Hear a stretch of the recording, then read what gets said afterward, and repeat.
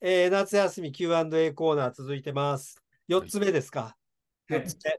目。で、シミュレーション仮説の話です。シミュレーション仮説って半年前ぐらいにやったんでしたっけ？ありましたっけ？やりましたよ。うんまあ、あの、この世は全部シミュレーションだっていう話ですよね。で、で、質問はですね、本当にこの宇宙をぜ全てシミュレーションするのは可能なのかについて気になりますと言うんですが、まずね、シミュレーション仮説とかいうのは何かとはい。いうことから説明しますと、まあ、この世界でね、まあ、我々この世界みんな現実と思ってるじゃないですか、本ええ番もなくて。えだけど実はこれはね、あのシミュレーションなんだうんえという、まあ、仮説だと。ええで、まあ、これのね、あの思想の原あの原うん型はですね、例えばこあの創始にね、胡蝶の夢という話があるでしょ。つまり、創始があのね、寝寝て、えー夢で、まあ、蝶々になった夢を見て、で起きたときに、俺は本来は創始でね胡蝶の夢を見たのか、本来蝶々で今ね、創始の夢を見てるのかみたいなね。だからどっちが現実なんやって。だからこういう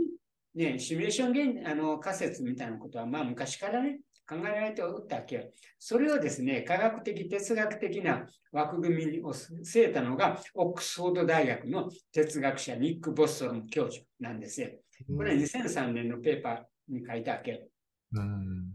で、これがね、まあ、哲学の教授らしく、哲学的に論じてるね。まずね、まあ、なんかある文明がありますと。でね、この文明、まあ、例えば我々でもいいんですよね。で、人工意識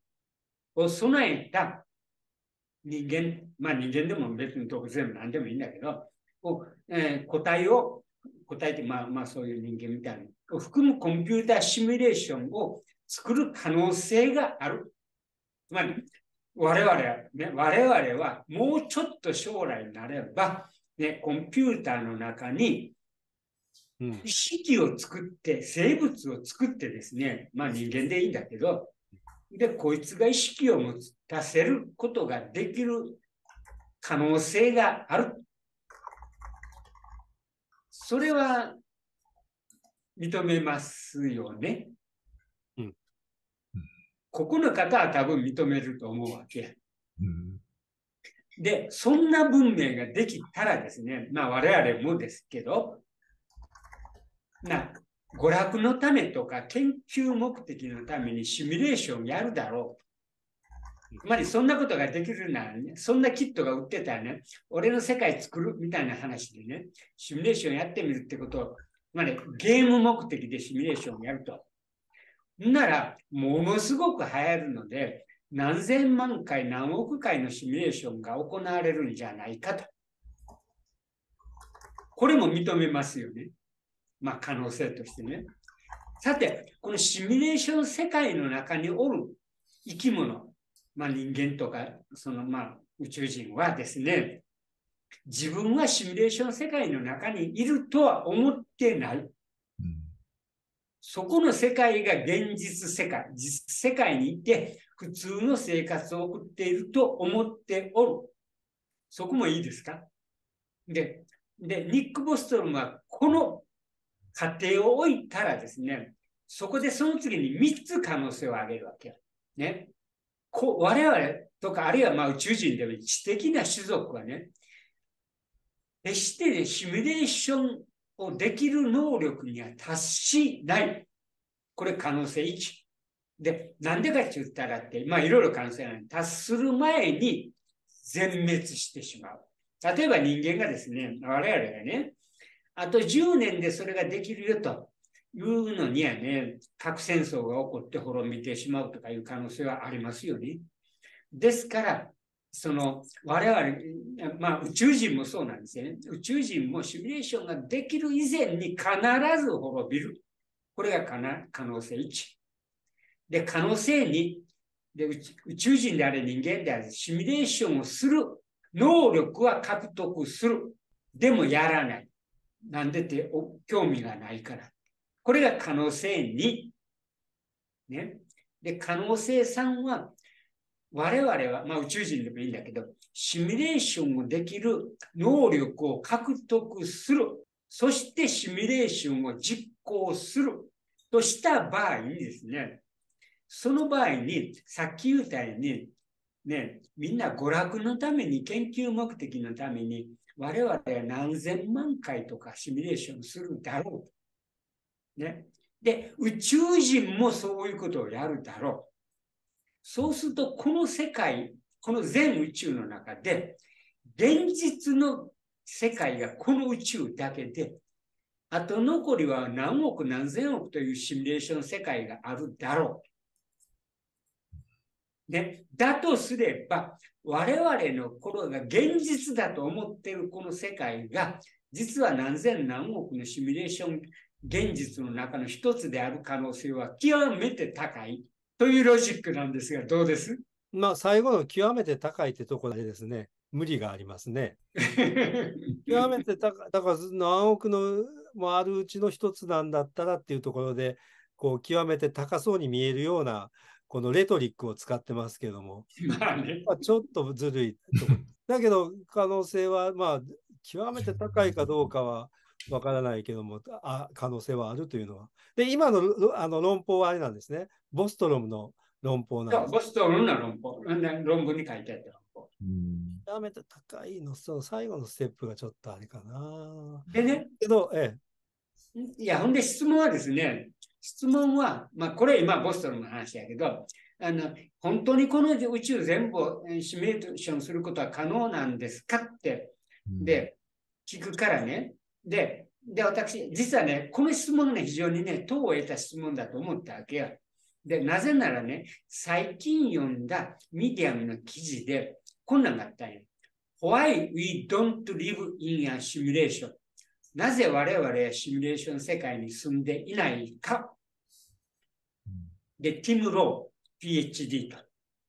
で、フィジシストとまあ書いてあるけど、まあ、このペーパーを読んだわけ。で、彼はね、我々はシミュレーション仮説っていうのはおかしいと言ってるわけよ。おうで、それはなぜかって言ったら、この宇宙、シミュレーションをね、やるのはコンピューターでやると。ね。とは、コンピューターってね、能力がね、例えばね、精度がですね、有限精度しかないわけじゃないですか。まあ、今、一番高いので64ビットか。だけどね、現実世界ね、この現実世界ってね、ものすごい精度が高いっていうわけよ。うんで、で、ただやね、そんな精度の高いところまで実現しなくていいんじゃないかという立場もあると。例えば、あれらが本を読むときにですね、重要なのは書いてある文字であって、この紙のね、インクのね、あの、1, 1ドット1ドットなんかどうでもいいじゃないかと。だからグローバルのところが分かればいいんじゃないかと。だから細かいところはいいらないんじゃないかという反論もあろうが、が、でもね、これ拡大できるじゃないかと。ね。で、いくらでも拡大していったら、分子原子までいけるじゃないかと。だから宇宙、この宇宙をね、を構成する情報っていうのはものすごい量があると。だからそれをね、たかがどんなすごいコンピューターだってシミュレーションできっこないよという反論なわけなんだけど、それに対してですね、これはまあ小林さんが反論したわけけど、これはまあ先生、まあ小林さんおっしゃってください、この反論を。あの、全部はあの見えてないところは別にシミュレーションする必要はないっていう話ですね。うん。要するに我々にとって後ろが見えてないん。だったら後ろはなくてもよくて、だから私自身がこの世界があるって信じるためには、私が見えてる範囲でちゃん。と作り込むん。であればよくて、その外なん。か別になかったってよ良いので、そん。なでかいシミュレーションはする必要ないでしょっていうのがそうなん。やそうなん。や反論としてありますね。うん。で、これね、僕ね、昔の映画の大道具っていうのを例えるわけ。うん。昔ね、例えばね、あの、ね映画で城があったら、ね、で、石垣が映ってるって。でも後ろ行ったら実はね、ハリボテなのね。うんうん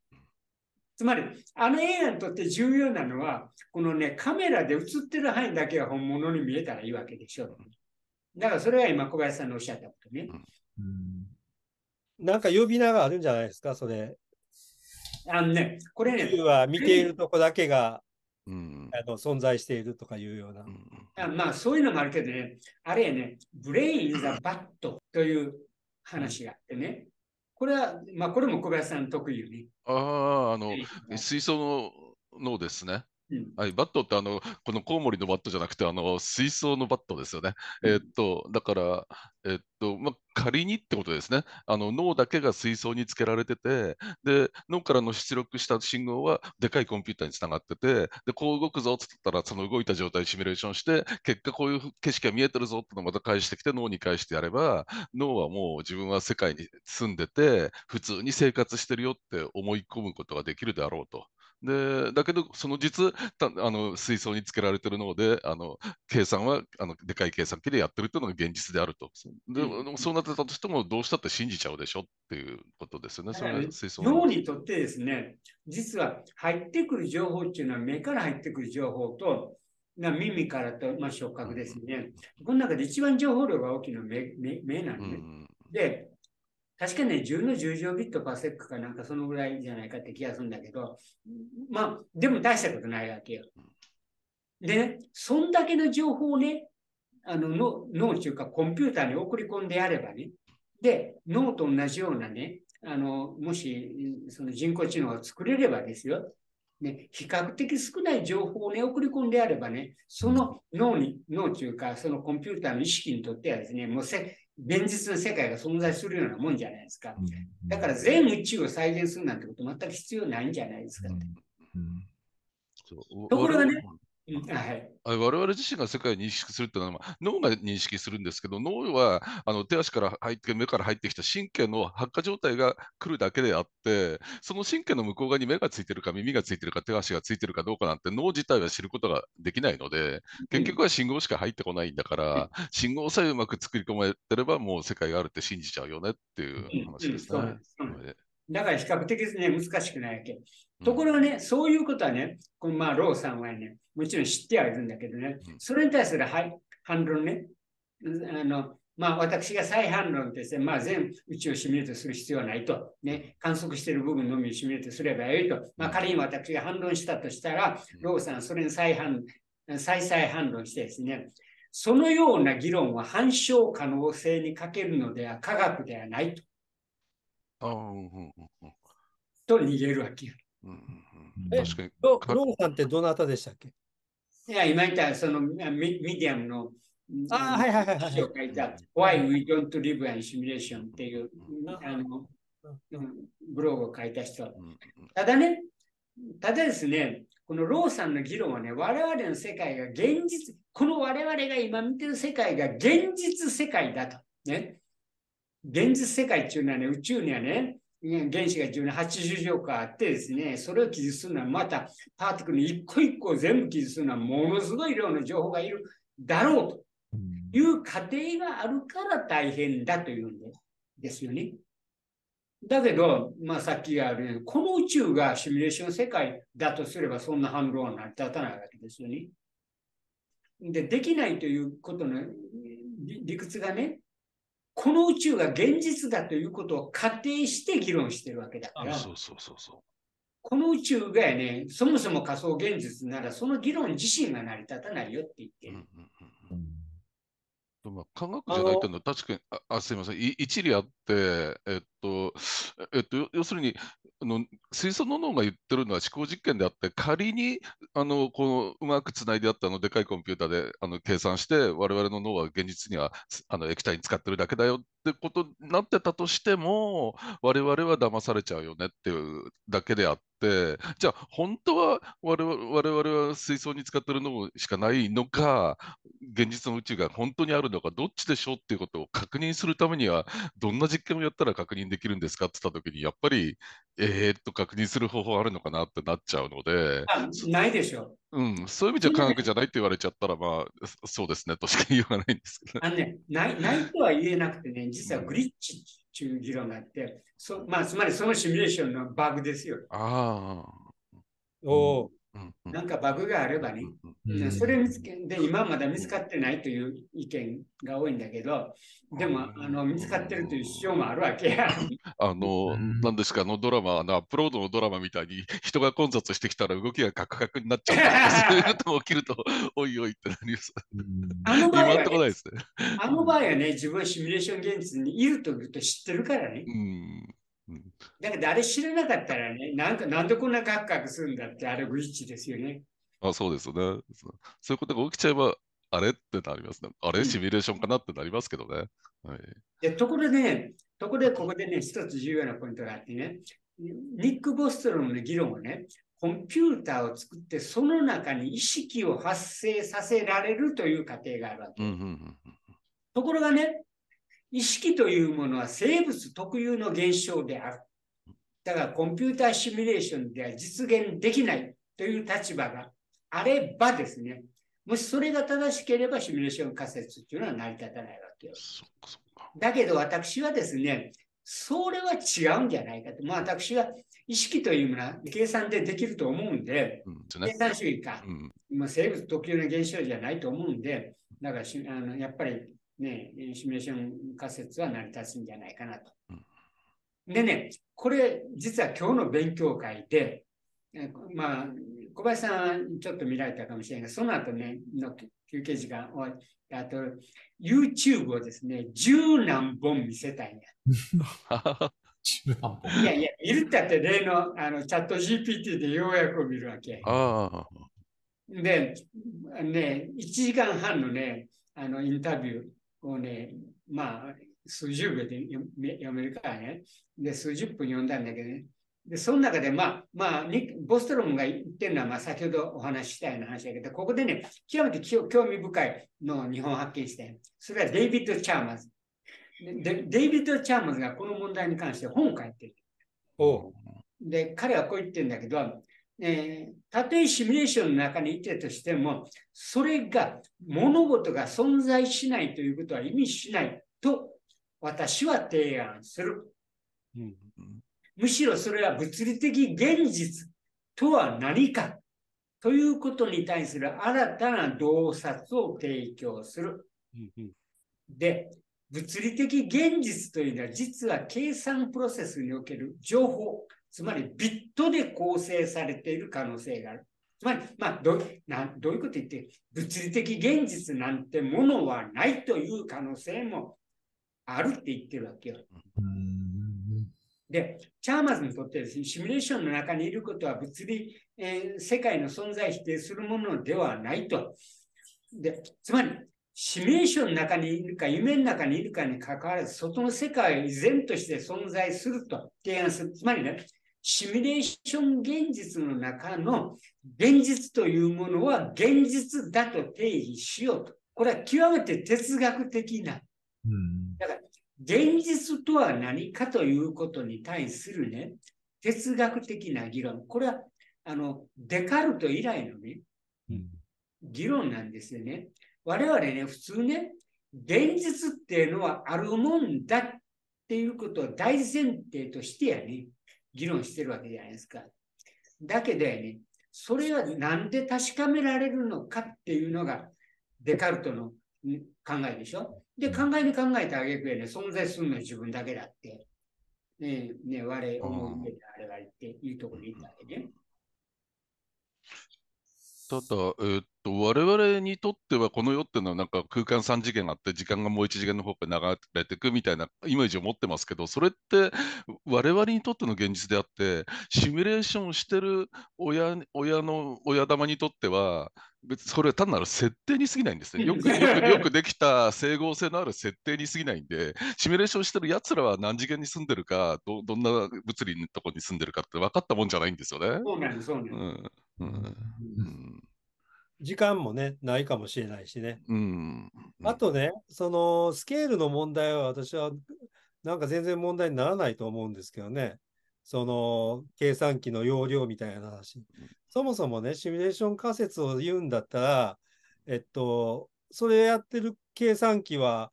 宇宙の外ですよね。そうそうそうそうそう。だからさっきのティティム・ローさんでしたっけ言ってるのは、そう、宇宙の中にす部分として存在するコンピューターが宇宙全体をシミュレーションするのは無理だって言ってるけどええ、そういうことじゃないんですよね。そういうことじゃないの。うん。宇宙の外のリソースなんて何ぼ仮定してもそうそうそうそうそうそう。けで、うん。まあ証明は多分できないですけども。う、んうんうんええ。うん。こんな、あの、ケチケチしたうん。で、ろ あの論争したってしょうがないな。そうそうそうそうそう。膨大なリソースがあるという前提で、うん。そうそう。前提になりますよね、これがシミュレーション。そうですよ、そうです。よ。あいやでしかもでね1だけやってるんじゃなくて、宇宙全体をシミュレーションやってるんだったらね。うん。でね、このミディアムでシミュレーション仮説というので引いてみたらね、山のようにね、出てきたのよ。ああ、すごいですね。みんな暇なのかな？よくそんなこと真剣に考えるな。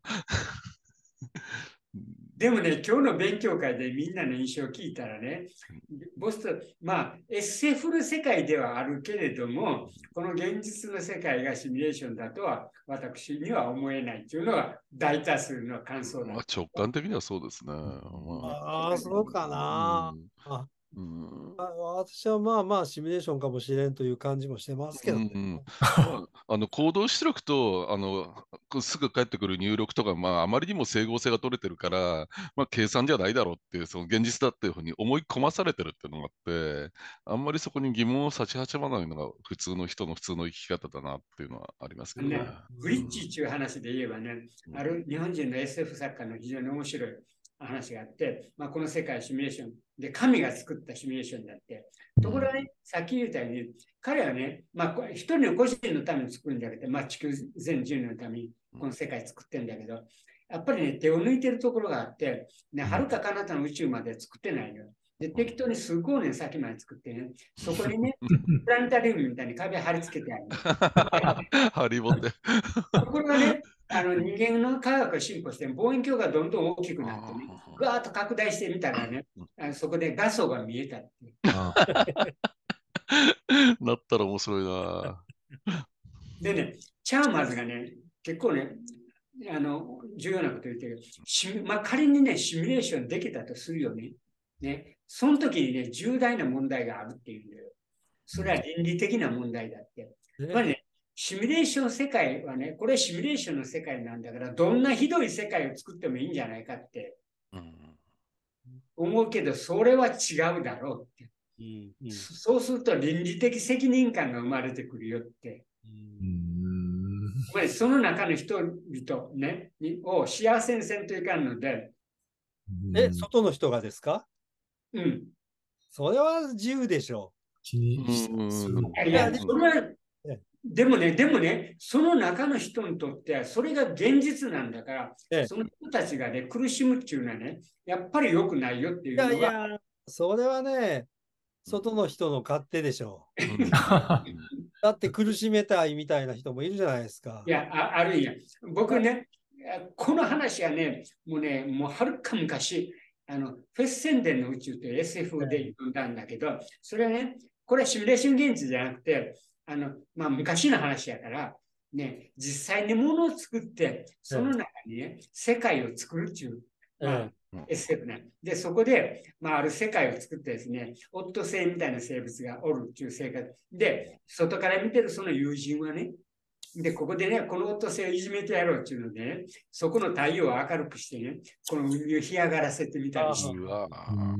て、でいろいろね、あのいねいじめて楽しんでたって。で、うん。私はですね、友人にね、そういうことしちゃいかんだろうって。うん。で、なんで、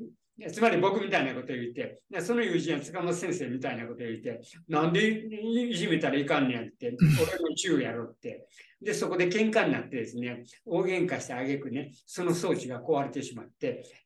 世界が潰れたって話。えええ別にな何もそう、どっちが正しいかを示唆してないですよね、今の話はね。まあね、まあまあ、それは SF のそうあのね、倫理的問題って言ったら、そのむしろ逆の話があって、この世界の中にいる人がね、この世界がこのシミュレーションだということなんだったら自暴自棄になってしまうと。何してもいいだろうと。中にいる人が。いう話は、あのそれも、それも、あの、ブログにあってですね、ブログっていうか、ミディアムにあって、で、ある人が自分の友人かな、26人のアンケートを取ったと。ね。で、つまり、シミュレーション仮説を信ずるか信じないかと。ね。非常に信ずる。少し信ずる。中立をあまり信じない。ほとんど信じない。大体五分五分なんですって。ああ、ははねで、ところがですね、その中の一人、26人のうちの一人がね、塚本先生と同じようなことをおっしゃってですね、どういうことか私はだけどその意見じゃないですよ。あないないか。う我々、この世界はシミュレーション世界なんだと。私は、ね、その人は強く信ずる。ええだから私はこの世界を滅ぼしたい。ああはあはあはあ何してもいいんだみたいなあうん考え方はあんのかなという気がしたんです。うんで、それに対するブログのあのミディアムの著者の感想、26人に1人というのは、ね、我々の中でサイコパスがいる確率と似ておる。うーんまあ一致するわけですね。うん あの、私もだからそれは正しくない考え方で、シミュレーションだといくら分かったとしても我々はここから逃れられないんだから、我々の中のこの倫理っていうのは守っていくべきなんだと。いう気がしますけど、ね、もし逃れられたりするんだったら、でチャーマーズもそう言ってるわけですよ。つまり、そうであったとしても、これが現実なんだと。ええ、我々にとってはね、うん。え。我々にとってはこれが現実と。というかね、実はね、ここでまた不思議な話があってね、我々が仮にシミュレーション世界に住んでるとするじゃないですかええ。で、我々がシミュレーションをやるとするじゃないですか。えなその中の世界の連中がまたシミュレーションするかもしれない。えうんうんだからこれはね、マトリューシカのように入れ子構造。うんうんうんええええ、だけど、我々ができるシミュレーションの規模っていうのは、この宇宙の規模に依存しますから、どんどんどんどんあのちっちゃくなっていきますよね。うんあもしね、空間が作れるとかね、そんなんだったら別ですけどね。これいくらでも話広がはい、り、どっかで止めとかないと